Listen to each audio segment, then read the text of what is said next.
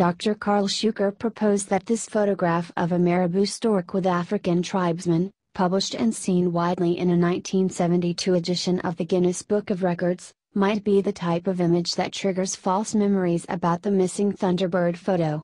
One hears or reads a description of the legendary photo, vaguely recalls seeing a similar picture, and the brain combines these images into one as it files them away in our memory banks.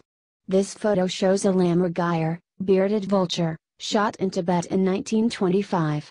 It is just one example of countless trophy photos of large birds that have been produced over the decades and could serve as a potential trigger.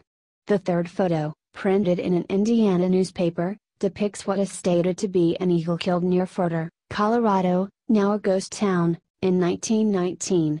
It contains the matching elements of a bird nailed to a wall with a hunter posed in front of it. The bird had a wingspan of 7 feet, 8 inches, according to the article.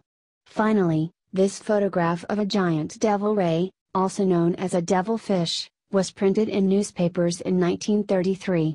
According to Snopes, it depicts a real taxidermy specimen of a devil ray, measuring 20 feet in width, and captured off the coast of New Jersey.